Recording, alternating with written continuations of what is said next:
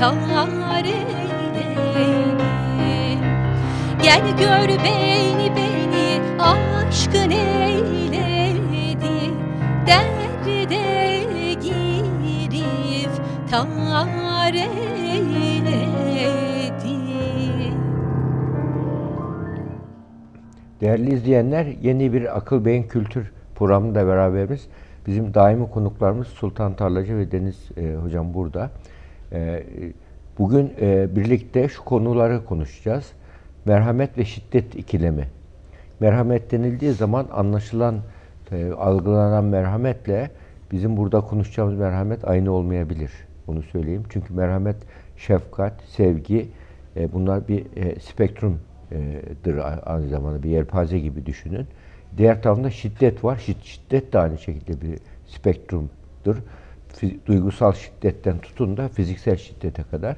Yani bu çerçevede bu ikilemi konuşacağız.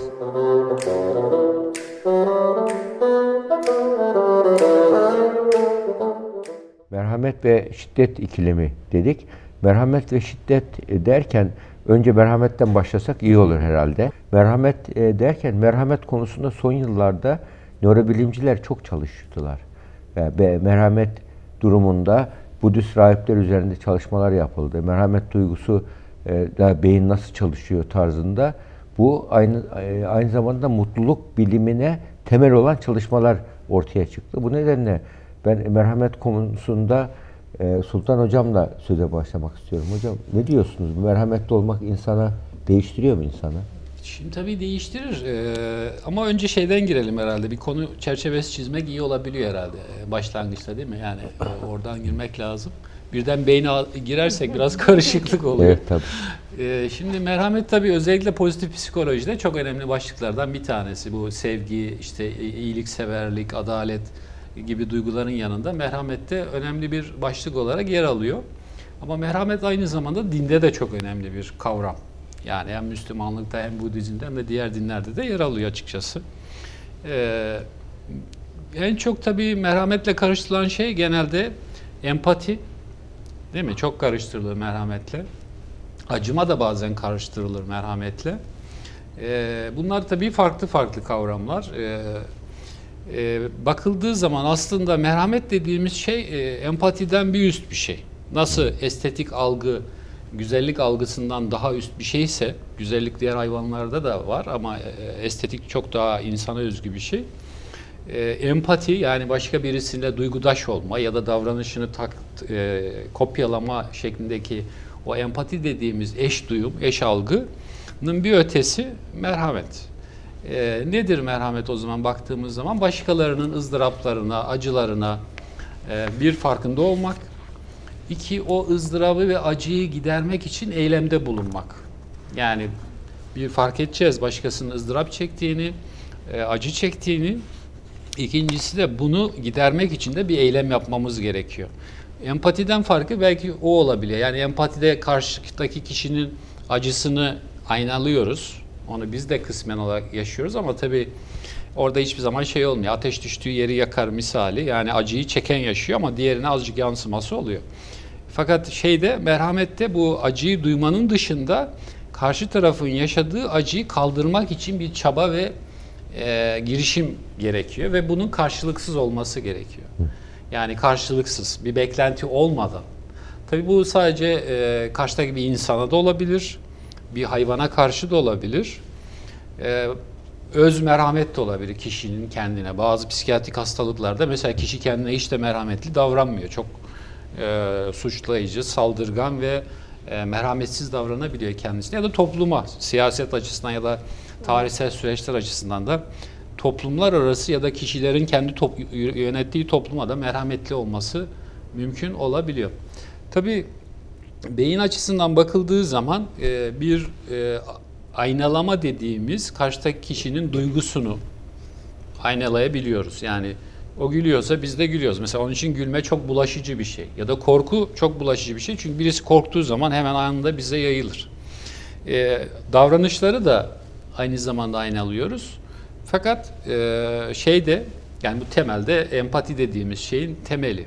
1990'lardan beri beyinde yapılan bu çalışmalardan bunu biliyoruz ayna nöronlar ama e, empati bu ayna nöronların ayna sinir hücrelerinin ya da başkasının duygusunu, davranışını aynalamanın üzerine ulaşan daha gelişmiş bir yapı gerektiriyor ve o insanda var. O da beynimizin ön ve iç bölgesi dediğimiz tıbbi adı ventromedial prefrontal korteks ama yani bunu tabii... Hocam bu bakıyor omurilik soğanı, omurilik sarımsağı derken böyle alerj kelimeleri getirmeyin bayağı İşte oraya sonunda. Şimdi ben hocam bana beyin deyince ben oralara çok girmek istemiyorum şimdi. Ama Çok bilimsel temelini öyle oturturuz hocam. Yani beyinle bağlantı alışkanlık kurabiliyorsak tabii dil biz hani alışkanlık. felsefe bile nörofelsefe şu anda Tabii tabii. konuşuluyor. Yani şey konuşmak gerekiyor şu açıdan e, kulak dolgunluğu oluşması için bu kelimelere ve kavramlar. Mesela frontal bölgeyi birçok genç artık biliyor ya da ön beyin bölgesini biliyor. Ön beyin bölgesinde yer alan ortada içte bir bölge var. Yani e, tabanda ve içte latincesi ventromedial. E, o bizim merhamet duygumuzun temel yeri, temel e, bulunduğu yer. Fakat işte burada şöyle bir şey var. Mesela e, merhameti gösterirken ne yapıyoruz? Karşıdaki kişi bir acı çekiyor. Onu rahatlatmak istiyoruz, değil mi? Ve onun için bir eyleme geçiyoruz. Onu acısından, ızdırabından kurtarmak için çaba gösteriyoruz. Aa, Burada da aslında temelde şöyle bir durum var. Yani yaratılışımızın gereği öyle bir mekanizma konu var ki içimizde evrimsel ya da tanrısal ne düşünürseniz fark etmez. Birisi bir acı çekerken bizim aynalama gereği o acının benzerini kendimiz içimizde yaşıyoruz. Yani e, diyelim ki birisi bir ağrı çekiyor ve yüzü ağrılı, ızdırap çekiyor. Aynaladığımız için onun duygusunu aslında onun beyninde ağrı çekerken yaşadığı o e, çalışan nöral ağlar işte insüler beyin bölgesi, amigdal çekirdek denen bölgeler ateşleniyor. Sırf biz onun ağrılı olduğunu gördüğümüz için bizde de aynı yer ateşleniyor. Ve biz kendimiz huzursuz hissediyoruz kendimiz. Sanki ağrıyı yaşıyormuşuz gibi. Bu sefer bundan kurtulmanın yolu ne? Karşı tarafın ağrısını durdurmak. Yani aslında durdurmak ve ızdırabını kaldırmak istediğimiz kendimiz. Ben eşime haksızlık yapıyormuşum. Ne zaman omzum ağrıyor desem benden önce benim de omzum ağrıyor demeye başlıyor. Ben onun ben naz yaptığını düşünüyordum. Meğer ayna nöronları çok gelişmiş. Empati becerisi yüksek olur. Bazı insanlar da o kadar yüksek ki mesela belgesel izleniyor değil mi? Kutuplarda penguen falan böyle karlar. Kişi üşür yani böyle uuu falan der yani karı Birini görünce falan. ağlarken görünce ağlanıyor. Veya mesela, ben topal gülerken. ördek görsem ağlıyorum diyorlar mesela. İşte e, orada merhamet duygusu empatinin üzerine çok güçlü oturuyor. Çok güçlü. Hmm. O kişiler de hep acı çeker ama. Kendilerine haksızlık yaparlar. İşte ama merhamet duygusu da aslında bakılınca hocam biraz şey yani bir üst ve olgunluğun bir şey. Mesela hayvanlarda merhameti korumayı görebiliriz. Yani yuvayı koruma, eşi koruma, kendinden olan ama mesela merhamet başkasının ızdırabını gidermek için eyleme geçmek olarak düşündüğünüz zaman hayvanlarda pek olan bir şey değil. Anatomi olarak zaten öyle bir beyinleri yok Zaten yavrusunu yakalıyor yani her şeyin ins- insanoğlu diğerinin yavrusuna karşı daha merhametlidir mesela. Aslan öyle değil. Nerede yavru varsa en çaresiz onu görüyor onu atlıyor av, avlanırken Tabii, değil mi? Şeyde En mesela korumasız On- olana saldırıyorlar. Şeyde mesela yani e, tabii e, birçok yönü var tabii merhametin özellikle pozitif psik- psikolojide merhameti geliştirme eğitimleri gibi birçok Yani son yıllarda var. yapılıyor bu. Ama mesela 100 sene önce filan Biz şeyde isterseniz ben oraya hemen e, toplum psikolojisine geçiş açısından da biraz e, geç, vurgulamak istiyorum. Nietzsche mesela merhamet, tevazu gibi duygular işletme maliyetini artırır. Yani bu nedenle bu duygular e, üstün insanın ortaya çıkmasında zararlı duygulardır diyor. Ve Doğu kültürüyle sadaka kültürü diye küçümsüyor Doğu kültürünü, ötekileştiriyor. Bunu bu duygular yani eğer şey olarak düşünürseniz sadece böyle yıkıcı bir rekabet gibi düşünürsek haklı gibi gözüküyor bunu burada. Yani çünkü merhamet yaparken tevazu yapacaksın. O zaman ne demek? Yardımlaşma demek. Yardımlaşma deyince kaynakların bir kısmını onlara ayıracaksın. Böyle olunca insanlar tembelleşiyor diyor. Ve bu yani karlılığa aykırı diyor. İşte bu insan homo economicus diyen anlayış bu. Yani öyle derken e, homo economicus diyen e, anlayış insan sadece aklıyla hareket eder. İnsan rasyonel bir varlıktır. Her insan da çıkarı peşinde koşar. O halde her insan çıkarı peşinde koştuğuna göre insanlardan oluşan toplumda çıkarı peşinde koşmalıdır. Devlet de, sistemlerde çıkarı peşinde koşmalıdır diyerek rekabetçiliği teşvik ediyor. Kapital sistemde. Zayıflara bakmayacaksın. Zayıflara bakmayacaksın diye zayıfları ölüme terk etmek gibi bir şeye gidiyor. Bu toplumda bunun üzerine şey tabi kapital sisteme karşı sosyalizm buna karşı çıktı ortaya. Sosyalizmde toplumsalcılık var. Toplumsalcılıkta başkalarını da düşünmek var. Yani toplumun yüzde ellisi aslında dezavantajlı insanlardır. Yaşlılar, çocuklar, çalışmayanlar, e, güçlü, güçsüzler, Nietzsche'ye yoksullar. göre kadınlar da. Böyle durumda Nietzsche'ye göre bu, onlar bu da felsefeciler çok tehlikeli. Ya Hitler'in öjenisinin bile kaynağı belki de merhametsizliğinin Tabii kaynağı. ya belki de orada o, bunlar ya. o var ya. Öyle olunca biz Hitler diyor ki biz üstün ırkız diyor. Üstün ırk olduğumuza göre diğer ırkları yok etme hakkımız var diyor. Özürleri de yok ediyor hocam. Tabii yok ediyor işte aynı. Ve artık te- bunun bilimsel temelini de maalesef şey yanında Nietzsche'nin kitabı var. Machiavelli'nin kitabı var. Bunu bilmiyordum. Ya yanında taşıyor onları. Nietzsche de maalesef Darwin'in biyolojideki geliştirdiği teoriyi yanlış yorumlamış. Evet. Nietzsche'nin Also Sprach Zarathustra kitabını Birinci Dünya Savaşı'nda Alman ordusuna dağıtıyor. Dağıtıyor. Yani a- ya- iyi Neyse diye. o kadar kötülemeyelim. Mesela Schopenhauer da bunun tam tersini der Tam mesela. tersi ya biz genel felsefeciye genelleme için Sadece mesela şey, e, bazı fikirleri kötülüyoruz hocam. Yoksa Schopenhauer felsefe mesela, olmadan e, bilim olmaz da- yani. Schopenhauer en çok merhameti öne çıkarır. Mesela kötülük ve bencillik diyor insanın davranışlarında engellenemez bir şeydir.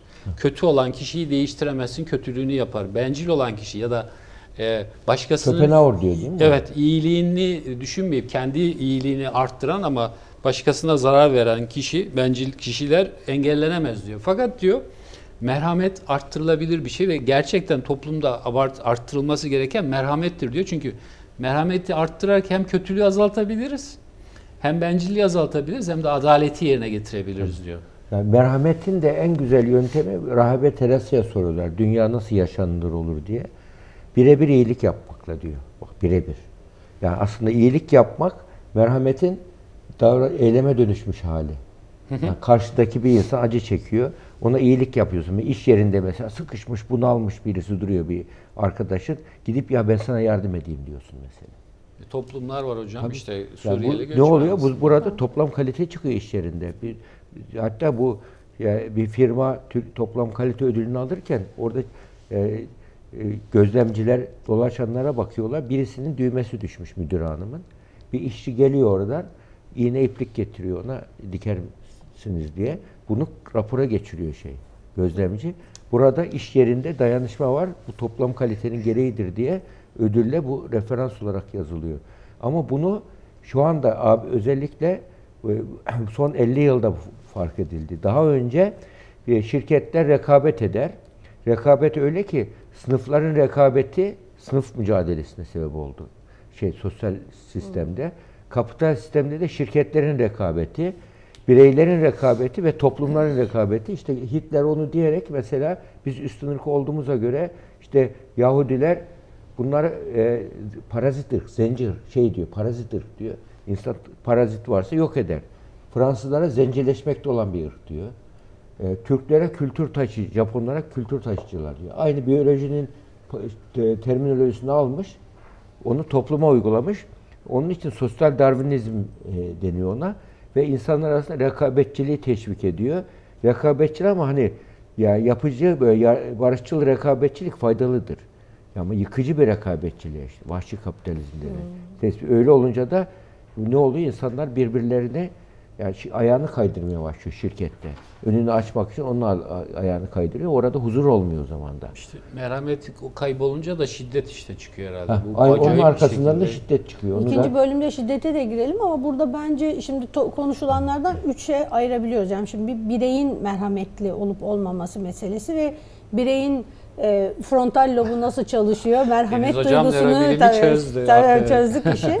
E, bunlar yani merhamet duygumuzun neler e, vücudumuzdaki o kimyasal reaksiyonlar, hormonlar, şunlar bunlar hepsi var. Yani an- bildiğim Altyapı kadarıyla var. hormonların da etkisi oluyor. Mesela annelerin daha şefkatli olması falan gibi İşte şeyler. orada da ince bir ayrım var işte. Merhametle şefkat. Merhamet karışır ya genelde. Merhamet daha çok genel bir şey ve nesnesi yok.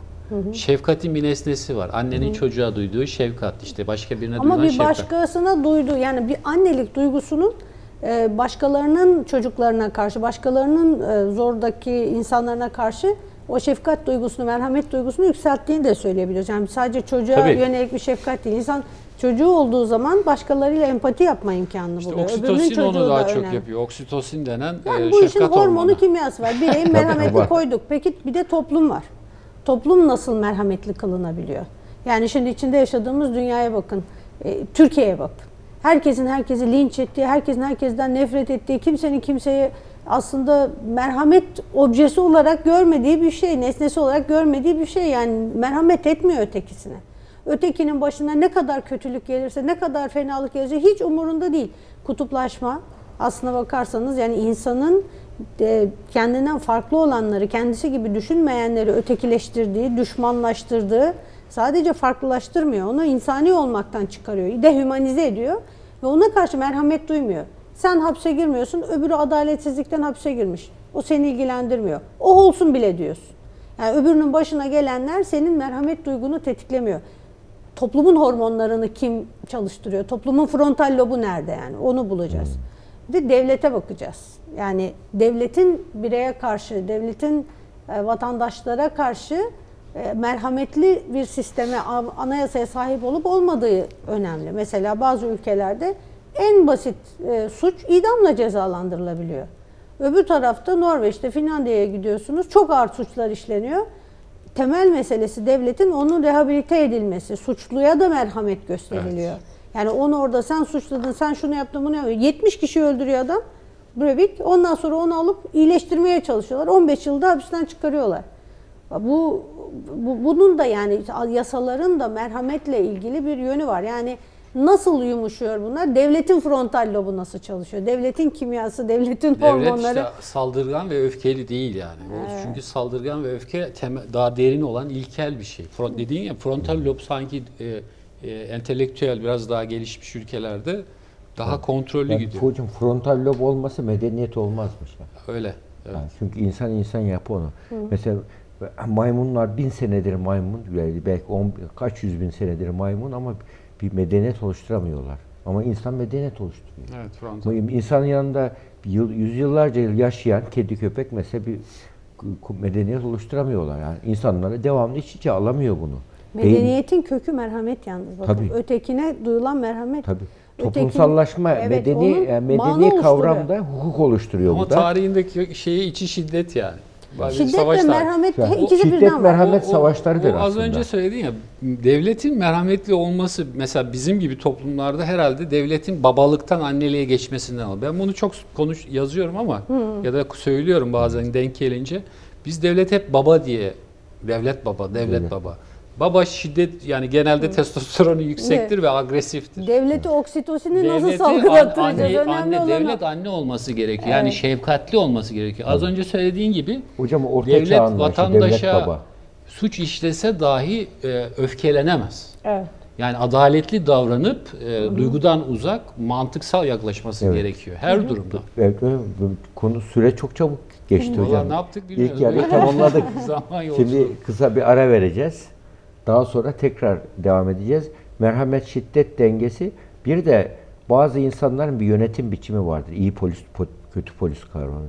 Bazı yönetim e, biçimlerinde bunu teşvik ederler. Bu da merhametimi artırıyor, şiddetimi artırıyor. Böyle paranoid e, olan liderlik tarzları var.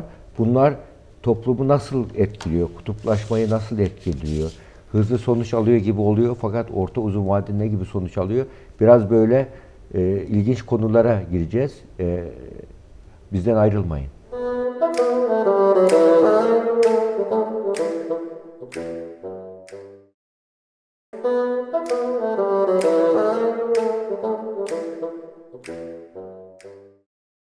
Programın ikinci bölümünde merhamet ve şiddet ikilemini konuşurken biraz şiddete de değineceğiz. İşte bireysel, duygusal, ekonomik, fiziksel e, şiddet türleri var.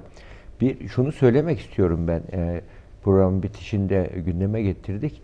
Bir sorgulama tekniği vardır. Yani iki sorgulanırken genellikle savcılıkta ya çeşitli soruşturmalarda biri iyi polis rolü oynar, biri kötü polis rolü oynar. Kötü polis böyle çok ağır konuşur, karşı tarafı incitir.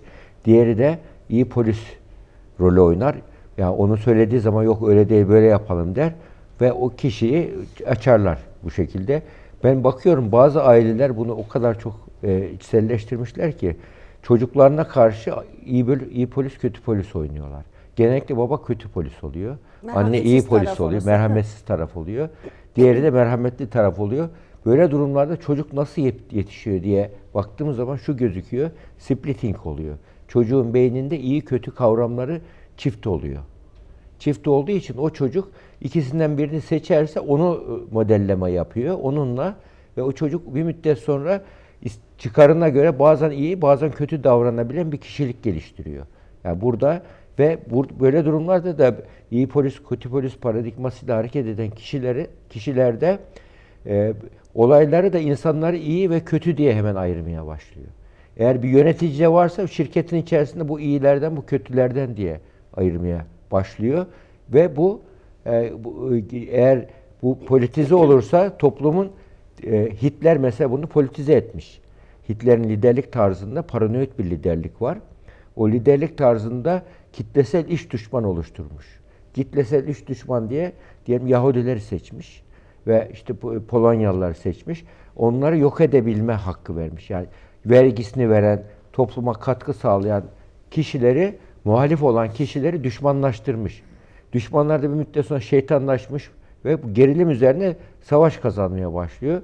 Kısa vadede de bazı sonuçlar alıyor, orta ve uzun vadede kaybediyor.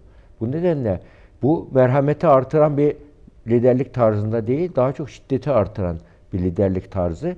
Bir dürüstlük yok bunun arkasında. Belli bir sonuca gitmek için e, insanları kutuplaştırarak insanları yönetmek isteyen bir tarz yaklaşım.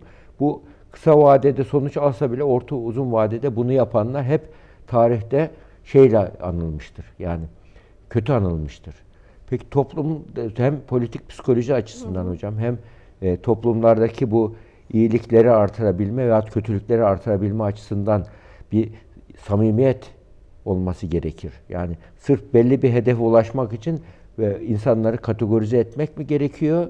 Yani, ve hatta ben hiç unutmam bir televizyon programında bana bir program bu ta söylediğim 2000 yılların başındaydı. Bir hanımefendi telefon etti.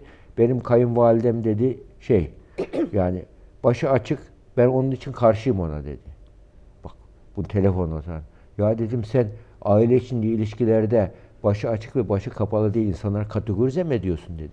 Bu kategorize etmek senin ailenin içerisine bomba koymak gibidir dedi ona. Onun üzerine hiç düşünmediği bir şey. Demek iyi kötü diye insanları kıyafete göre kategorize etmiş. E, Türkiye'de bir dönemde de toplum bu şekilde ayrıldı. Yani kıyafetten dolayı kategorileştirildi insanlar. Bu bence ciddi bir yöntem hatası. Kıyafete göre, şekle göre yahut da yani böyle çıkar psikolojik bir sembol üretip o sembole göre kutuplaştırmak kötücül bir davranış gibi geliyor. Ne diyorsun tabii, hocam tabii. bu konuda? Şimdi aslında söylediğiniz şey çok önemli. Bir anda başka şeyler de çağrıştırıyor. Onlara da girelim isterim. Yani merhamet e, insanın içkin bir e, doğal bir karakteri uzanımı mıdır? Yani karakterinden mi kaynaklanır? Sonradan Yoksa öğrenilen bir şey hocam. midir? Yani öyle. So, olabilir. Yani mutlaka karakteriyle ilgili genleri var mıdır bu işin onu bilmiyorum ama mutlaka karakteriyle ilgili de aynı ailenin içerisinden çok vicdansız birisi, çok merhametsiz birisi de çıkabiliyor. Çok merhametli birisi de çıkabiliyor. Ama e, insanları dönüştürmek ailelerin, ebeveynlerin e, verdiği terbiye, okulda öğrendikleri değerler silsilesi yani ne, tür değerler yüce ve iyi kabul ediliyor, neler kötü kabul ediliyor bunlarla da şekilleniyor. Yani aslında son derece savaşların kutsal sayıldığı bir e, yüzyıl, 20. yüzyıl mesela. Asker olmak, karşı tarafı öldürmek, karşı tarafı bombalamak. Kimse, mesela Amerika e, Hiroşima, Hiroşima ve Nagasaki'nin orta yerine bomba atarken hiç merhamet duymadı. Yani orada çocuklar var, siviller var, şu var, bu var diye hiç düşünmedi. Ya da bir savaş bölgesi işgale girdiğiniz zaman oraları devletler vallaş pamuğu gibi attılar. Merhamet duymadılar. Demek ki aslında çok merhametli insanlar da olabilir bunlar ayrıca. Mesela demin bahsettiğiniz Hitler koca bir Alman toplumunu ki bunların hepsi vicdansız merhametsiz olamaz. Bunları bir şeye ikna etti. Merhamet duygularını geri plana atmalarına e, yol açacak bir düşman tasavvuru üretti ve oradan da bir şey yaptı yani milyonlarca çoluk çocuk öldürülürken doğal gaz işte doğal gaz diyorum gaz odalarında işte sabun yapılırken şu bu hiç kimsenin kılı kıpırdamadı. Yani bu burada bir anomali var. Normal şartlarda merhametli insanların buna ses çıkartması lazım. Konu sadece korkudan ibaret de olamaz. Grup, yani grupla alakalı bir şey var. Mesela evet. unutma da sözümü. Hı hı. Bu e, Filistinlilerle Yahudi e, İsrailler arası merhamet araştırması yapılmış. Beyin nasıl çalışıyor diye. Aslında her ikisinde de kendi grubundaki bir kişinin resmini gördüğü zaman merhamet gerektiren bir hmm. görüntüsünü gördüğü zaman o devreleri çalışıyor.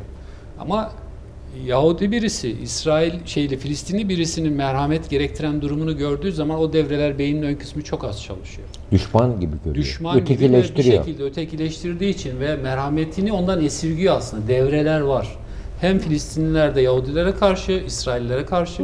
Hem İsrailli Yahudilerin Filistinlere karşı kendini baskılayan bir merhamet eksikliği var araştırmanın sonucu var, bu bak. Kaçınılma, ama bakın mesela onu İsrail'de Filistin'de. Mesela İsrailli ve Filistinli birisi Amerika'da dolaşırken Filistinli biri yere düşse bir şey olsa İsrailli bir doktor ona yardımcı olur ya da tam tersi olsa işte öbürü yardımcı olur. Şart, Şartlar, ortam, tabii orada koşu. artık insan e, ontolojik olarak başka bir şey haline geliyor. Yani aslında hepimiz çıplak olarak insanız ama Üzerimizde soğan gibi farklı kabuklarımız var evet. ve o kabuklar bizi birbirimize düşman hale getirebiliyor. Onlardan arındığımız zaman aslında çok merhamet duyabileceğimiz çıplak insan halimizle çok bütün frontal lobumuzun çılgın gibi bize şefkat oksitosin hormonları ürettireceği falan bir düzende ama konu siyaset olduğu zaman öyle bir kalın kabuk oluyor ki yani ne, ne bileyim işte e, birisi gösteri yapıyor ona karşı merhametsiz olabiliyorsunuz. Öbürü e, güvenlik görevlisi oluyor. Siz buradan terörist oluyorsunuz ona saldırabiliyorsunuz. Bir sürü merhameti ortadan kaldıracak olan farklı yönlerde e, açılımlar söz konusu oluyor. Yönlendirmeler söz konusu oluyor. Yani şunu söylemeye çalışıyorum. Aslında siyaset insan doğasını biçimlendirme faaliyeti. Yani insanı doğasına aykırı şeyler yaptırtabilen bir e, manipülasyon uygulaması. İnsanlara sürekli yeni kutsallar üretiyorsunuz. O insan doğasının dışında olabiliyor. Bir sembol geliştiriyorsunuz. Bayrak diyorsunuz mesela. O bayrak daha önce hiç insanların bayrağı olmamış bir dönem de olabilir. Yani Sümerlerin bayrağı olmayabilir mesela. Sümerlerde başka Yok neden olur. Vatan diyorsunuz. Aslında bütün ataları, dedeleri şu anda Yunanistan olan mesela Selanik'ten geliyor, Türkiye'ye geliyor ve diyorlar ki bu vatan senin vatanın. Ana yurdu korumak için e, canını vermeye hazır insanlar haline geliyoruz. Yani bu e, baktığınız zaman aslında siyasi kavramlar diğer bütün her şeyi ortadan kaldırabiliyor. Şeyde bu e, Dünya Savaşı'na gidilirken Birinci Dünya Savaşı öncesinde 1864'ten itibaren sürekli sosyalist internasyoneller toplanıyor. Yani işçiler, emekçiler, işçi partileri, Dünya böyle sosyalizmin şeyinde dalga dalga yayılıyor. Hep beraber toplanıyorlar. İşte burjuva hareketidir. Devlet dediğin şey burjuvanın ürettiği bizi sınıfsal fay hatlarını ortadan kaldıran, bizi ulusallık diye uydurulmuş bir şeyin içine hapseden bir fantaziden ibarettir falan diye söylüyorlar, söylüyorlar. Aa Birinci Dünya Savaşı'na doğru giden şeyde e, son kongrede hiç kimsenin kimseyi tanıdığı yok. Almanlar Fransızlara kızıyor, Fransızlar İtalyanlara kızıyor, işçi tulumları çıkıyor Bir anda asker üniformalarını gibi ertesi gün birbirlerini öldürmeye başlıyorlar. 15 milyon kişi Durdur. ölüyor. Yani bu Birinci Dünya. Savaşı'nda, İkinci Dünya Savaşı'nda 70 milyon 70 kişi. ya. yani yani bu yanları yan etkileriyle falan bakarsanız daha Tabii, da daha yükselecek çok olan hastalık şeyler. açısından. Hastalıklar bilmem ne tabii o gripler gripler de olmuş orada ama yani e, aslında insanoğlu e, şiddeti de merhameti de konjonktürel olarak üretebiliyor.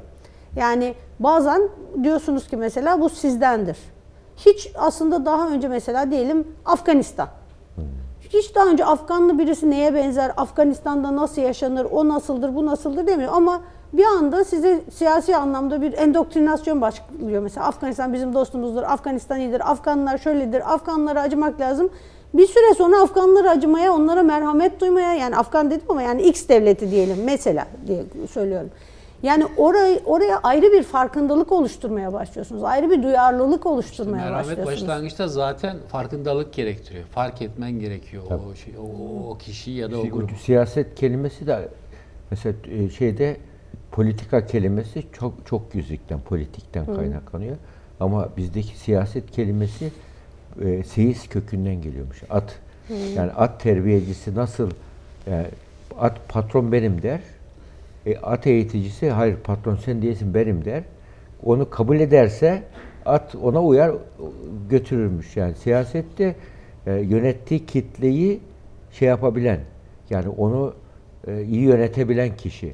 Yani güç odaklı mı yönetecek, adalet odaklı mı? Mesela Genelde biz- seyisler bir de ata gözlük takarlar biliyorsunuz. Yani iyi Geniş performans alanı- alabilmek için çok fazla geniş perspektifte olmasın diye yani Gem- Gemleme Daha- de vardır. Daha da fazlası Evet, tabii. var. yani icab- icabında kamçılarla acı çektirirler. e, yaparlar. Yani bu buradan işte bu- onun Ama güzel de bakarlar yani böyle e, Kaşağılı, iyiyse Ömer kaşağı onu aynen kaşağısını da şey yapar yani yemler de eğer canını sıkarsa sucuk yapmaya da gönderebilir. O da ayrı mesele yani onu da yapabilir. Yani devlet anlayışlarıyla ilgili bir şey bu. Devlet ne için? Yani devletin fonksiyonlarıyla ilgili bir şey. Şimdi aslında şöyle bakmak lazım.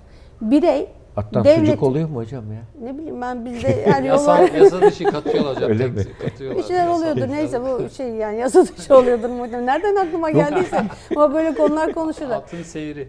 E, At eti yenmiyor mu ama bazı yerlerde Yok, Türkiye yeniyormuş. Cumhuriyetlerde falan bildiğim kadarıyla yenilebilen bir şey. Çok otla beslenen bir hayvan yani. Biz atımızı severiz Türkler aslında ama öyle demek ki hani yoklukta da şey yapılıyor. Burada temel mesele şu. Birey ve devlet ilişkisinin nasıl dizayn edildiği, tanzim edildiği aslında temel belirleyici. Devlet bireye, vatandaşa, halka hizmet etmek için kurulmuş bir aygıt ve örgüt müdür? Evet. Yani o zaman asli özne de, insandır. Yani o zaman devlet bir hizmet aracıdır ve insan öznedir. O zaman zaten insanın devlete merhamet etmesi gerekir gibi böyle bir hiyerarşik olarak insanın üst tarafa konumlanması gerekir değil mi toplumun? Ya da bir başka bakış açısıyla aslında insan devlet denilen o kutsal şeye hizmet etmekle yükümlü bir varlıktır. O zaman devlet insana merhamet Hocam etmekle otoriter yükümlü. yönetimler öyle işte. E, öyledir. Yani bu bakış açılarına göre değişir. Liberallerinki biraz daha farklı. İşte e, daha otokratik, daha her hepsi de diktatör olmak zorunda değil. Yani daha muhafazakar bakış açıları e, devleti yüceleştirmeyi seviyorlar. Yani onların e, bir kutsal devlet ideası insan halkı bir araya getiren, toplaştıran bir yapıştırıcıya dönüşebiliyor. Yani yapıştırıcısı kalmayan toplumlar aslında mecburen devleti buraya yerleştiriyorlar. Bir de böyle bir özelliği var. Yani ortak bir etnisiten yoksa, ortak bir dilin yoksa, ortak bir gelecek beklentisine attıysan, dinin farklıysa, insanlar darma duman bir yerlere gittiyse bunu nasıl toplayacaksın? Kutsal bir şey üreteceksin. Hocam yani ona coğrafi milliyetçilik deniyor. Şey, ulusalcı milliyetçilikte şey var, ırk odaklı milliyetçilik var. Bu şu anda iflas etti dünyada şu anda. İflas etti yani ırk çünkü o kadar çok ya Amerika mesela ırk odaklı milliyetçilik yapamaz. Ama coğrafi Osmanlı coğrafi milliyetçilik yapmış yani Osmanlıcılık gibi yapmış. Her türlü milliyeti bir arada tutmuş. Ben şu anda Türkiye'nin de ihtiyacı bu. Türkiye'de insanlar illa onun için anayasada Türkçülük diye bir madde koyulmamış yani bu 80 Anayasası'nda bile yok. O, bu bir ırka dayalı bir milliyetçilik işte anlayışı, Türk ırkçılık. devleti lafı geçiyor ama şeyde e, Yani ama onun için anayasamız resmi ideoloji anayasası oluyor o zaman. O zaman da topa birleştirici olmuyor. Yani Güneydoğu sorunun arka planında bu zihinsel kodlar var. Yani onun için bunu da bir yani Türkiye kavramı e, coğrafi olarak düşünmek lazım. Bu coğrafyada yaşayan herkes Türktür diyebilmek. Yani bunu e, demeye çalışıyor. Yani onu bir üst kimlik olarak anlamak. Böyle, böyle olursa kucaklayıcı oluyor. Yoksa Tabii. öbür türlü bir kısmını ötekileştiriyorsun yani zencilerin ABD'de olduğu gibi. Yani onları ya, bi- biliyorsunuz yani zencileri şey olarak e, otobüslerde bile 60'lı yıllarda arkalara oturturlarmış. Tabii. Yani bu şekilde böyle bir ötekileştirme var. Hala Hat- var hocam. hatta hala Geçen var. hafta Siz- vah- Zenci'yi beyaz mezarlığına gömdürtmediler ya. Tabii tabii hala çok Geçen hem ağır yani belli Yani bu ciddi bölgelerde yani. çok ciddi Zihinsel şey. kodlarda devam Evet. ediyor. Her ne kadar bu konuda mesafe alınsa da hatta bu politik psikolojide bir örnek vardır. Böyle bir anne çocuğuna yan yana gidiyor. Karşıdan bir zenci gelirken anne hemen çocuğun elini uzatıp kendine doğru çekiyor çocuğunu. Bu Hmm. otomatik stereotipi deniyor buna po- politik psikoloji olarak. Otomatik stereotip anne bunun farkında değil ama. Yani oradan geliyor bir tehlike var diyor çocuğunu çekiyor ama bunu otomatik stereotip oluşuyor. İşte bunu üst yönetimler bunu bilerek yapıyorlar. Bir sembol alıyorlar, bir düşman sembolü, bir dost sembolü. Bunu propaganda ede ede insanların zihinlerinde bu semboller üzerinde politika yürütüyor. Mesela bir köpek var, köpeğe kuduz desin herkes onu öldürmeye kaçmaya çalışır. Ama hiçbir şey demesen hayvan dolaşır. Sultan Bunun hocama gibi. buradan şimdi köpek dediğiniz bir şey yapayım, soru sorayım. Şimdi insanların bazısı çok merhametli. Kediye, köpeğe, kuşa karşı falan. Fakat ne bileyim mülteci, göçmen bir çocuğa karşı falan hiç o kadar merhametli olmuyor. Burada merhamet duygusu e, nasıl şekilleniyor? Aynı yani kişi farklı merhamet aynı kişi değerli- yani Ama kediye, köpeğe çok duyarlı ama çocuğa, işte insana, aça değerli ona şablonla- karşı. şablonlarımız var ya yani bunlar belli kalıplar oluşturuyor bizim e, dışarıdaki e, durumu algılamak için hangi milliyete mensupsun, hangi mezhebe mensupsun e, gibi böyle bir sürü bir sürü şablonlarımız var. O şablonlar bizim merhametimizi verme lüksümüzü belirliyor. Yani eğer çok e, demin söyledim ya Filistin'i kendi Filistinli gördüğü kişiye merhamet duyarken karşı tarafa duymuyor ya da Yahudi şey İsrailli karşıya duymuyor. Potansiyel olarak var. Ha bazı sıra dışı durumlar olabilir. Psikopatlık olabilir. Antisosyal kişilik bozukluğu. işte empati devreleri çok zayıf olduğu için mesela onlarda zaten e, merhamet duygusunun olmasını da beklemezsin. Ama genelde merhamet böyle daha geniş bir şey ve e, bir insana ya da bir bir şeye merhamet duyan genelde her şeye merhamet duyabilir. Yani köpek ya da hayvanlara merhamet duymayan birçok insan genelde insan insanı sevmeyen kişiler de e, içerisinde yer alır yani. Ama- Doğayı sevmeyen, ağaca merhamet, insana merhamet, diğer canlılara merhamet. Son dönemde çok görüyorum da bu hayvanlar konusunda aşırı hassasiyet gösteren insanlar var ama bunlar insanlara karşı çok İşte vahşi. şablon- yani şablon- insana, şablon insanların seçme. hayvanlara zarar verdiğini düşündüğü, düşündükleri için insanlara kızıyorlar. İnsanları sevmiyorlar. Aşırı bir hayvana Yani iki yönlendirmiş tane paradigma önünde olsa köpeği kırık bir şey köpeği kırık ya bacağı kırık bir köpek olsa ona merhamet gösterebilir o dediğin bazı kişiler ama yanda bir insanın ayağı kırık olsa aynı şeyi göstermeyebilir. Çünkü orada şablonlar üzerinden dış dünyayı tamamen yorumlamamız şablon üzerinden. Tabii beynimiz yani frontal bölgemiz şey yapıyor. Karar verirken şablonlarla karar veriyor. Evet. Kategorize ediyor. Bu merhamete layık diyor, bu layık değildir diyor. İnsan ol- olmamak Ama ya orada da merhamet, kritik merhamet lüks olsa da hocam şunu insanların, devletlerin birbirine da insanla yapmaması lazım. Merhamet göstermeyebilirsin ama kötülük etmemek lazım. Nötr davran, arada davran. Yani kötülük daha uçta yer alan bir şey. Yani merhamet lüks tamam herkes göstermeyebilirsin ama kötülüğe de yer açmaması lazım. Begu, İzzet Begoviç'in güzel bir sözü var. Dostlarıma her şeyimi veririm, düşmanlarıma sadece adalet veririm diyor. Mesela İzzet O da iyi Ne kadar bilgi. büyük. Yani bu adalet verim öyle olunca düşman onun şeytanlaşmayacağından emin oluyor. Ve kendini adil bir ortamda hissettiği zaman bir zulmedilmeyeceğini yapıyor. Bu yani düşmanla ilişkide bile bir savaş hukuku var ya. İşte bu savaş hukukunda işkence, eziyet bunlar olmuyor. Yani aslında yani medeni toplumla medeni olmayan toplumu ayıran nedir diye baktığımız zaman tamamen hukuk hukukun üstünlüğü varsa o toplum medenidir. Hukukun üstünlüğü yoksa, keyfi ise mesela merhametsiz insanlar keyfidir. Sevmedim, sana karşı bir şey hissetmiyorum der, onu aç bırakır, odaya hapseder mesela bir anne baba olduğunu düşün. Acı, acı çektirmekten de özellikle zevk alıyor bazıları da. Yani e, sadomazoistik kişiler var.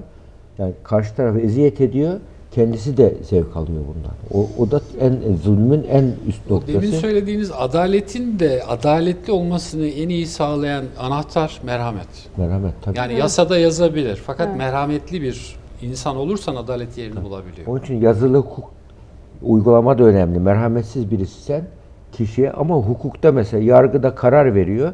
Karar verirken o kişiye de merhametli davranmaması lazım. Hukuk neyse merhamet diyen içinde merhamet uyandı bir hakimin. Burada kendisine karşı da hakim tarafsız olmalı.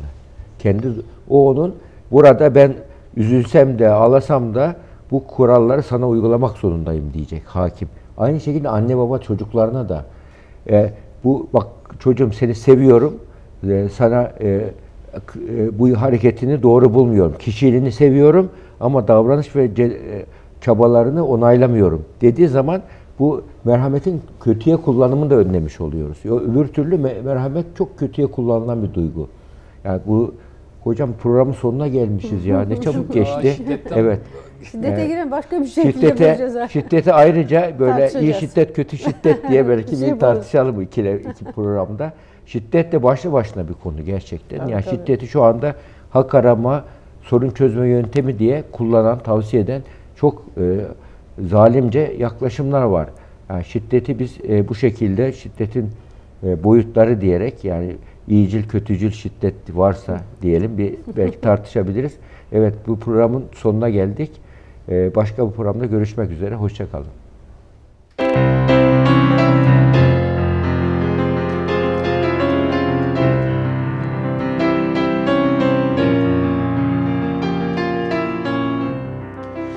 Ömrünü bitirmiş viranemiyem Aklın yitirmiş divanemiyem Allahu Allah Allahu Allah Allahu Allah Allahu Allah.